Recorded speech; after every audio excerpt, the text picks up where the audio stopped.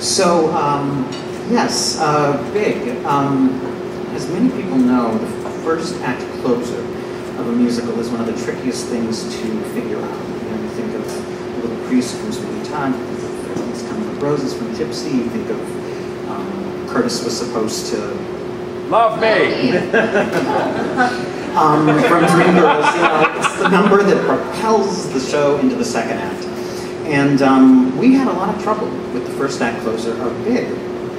And so, in a very encapsulated form, I'm going to be doing the four songs that we did at various points during the show's development. Now, the first one is called Move. And uh, just to let you know, I will be doing um, some vestiges of the original, now lost Susan Stroman choreography. Is she here? Stro? Stro? Call me. Um, and so we'll take it from there, and I'll tell you the story.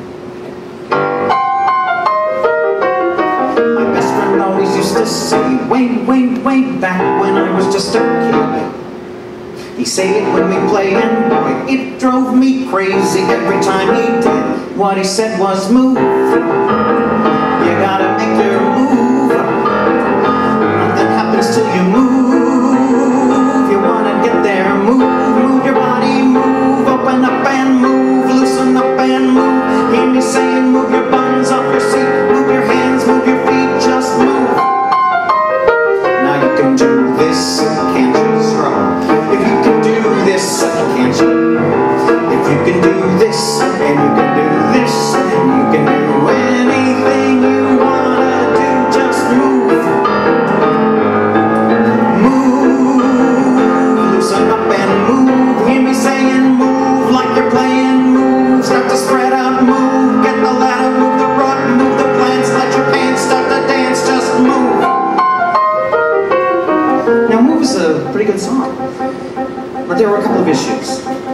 Like, for instance, whenever we heard that fabulous,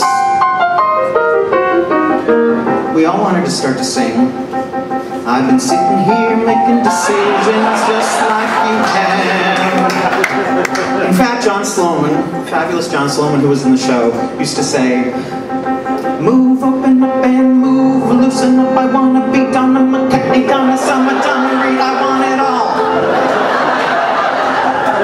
Little issue with that. the other issue was that Maltby and Shire decided that they really wanted to focus on Josh getting his first kiss and what that did to him. So, we moved on to Plan B. She kissed me. She kissed me.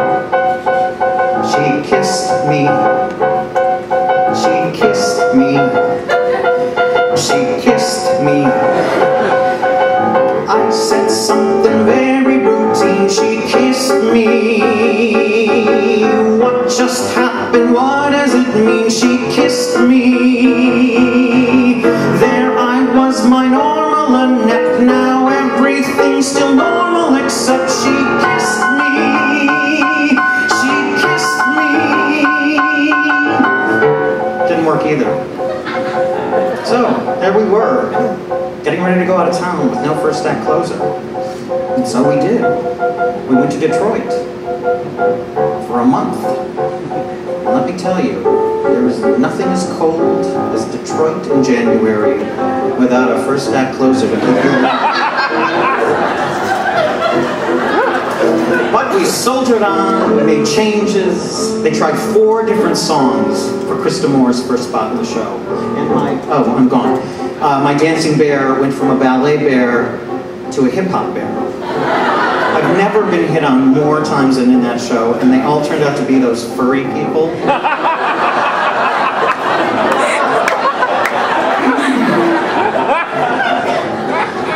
So there we were in Detroit. Closing night, they threw a big party for us at the St. Regis Hotel, or as Barbara Walsh used to call it, the St. Regis and Kathie Lee Hotel.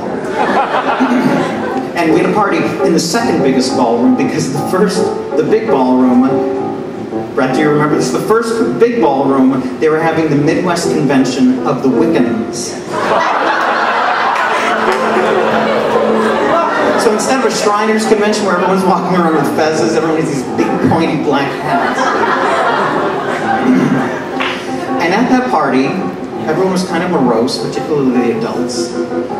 And one by one, the kids started to dance. And they started to pull the adults out onto the dance floor. And all of a sudden, our wonderful director, Mike Ockrent, um, said, That's it! That's it! That's what we need. We need to have the kids bring the adults into the action. That's it. That's it. so, back we came to New York and uh, went back into rehearsal. And Daniel Jenkins had to have his knee operated on, so for three terrifying days, I had to play Josh. And that's when this next song came into play. And so I was given a song, I went into another room, learned it, and I'm still the only person who has ever sung this song once. And it's called Crossover the Line. Music's cool. We ought to be dancing. We're not in school. And you are looking so fine. It's clear to me there's something we should be chancing.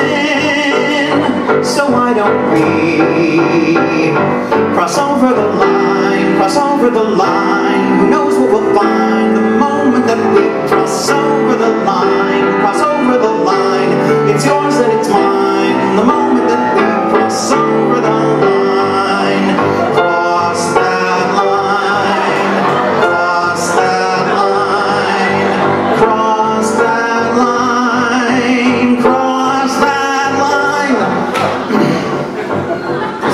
Gemignani, the musical director, said to me, "Don't even bother memorizing that word."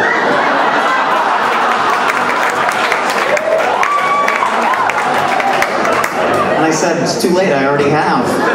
What's there to memorize? Um,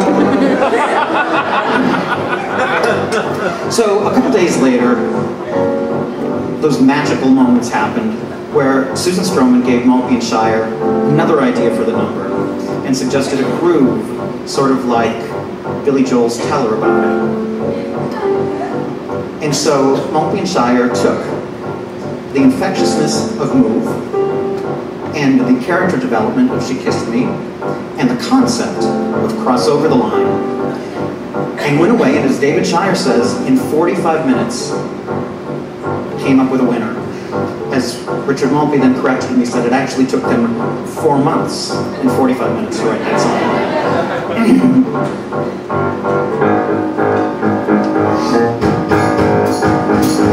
This is our dance, come on and dance with me. This is our chance, gotta move instantly.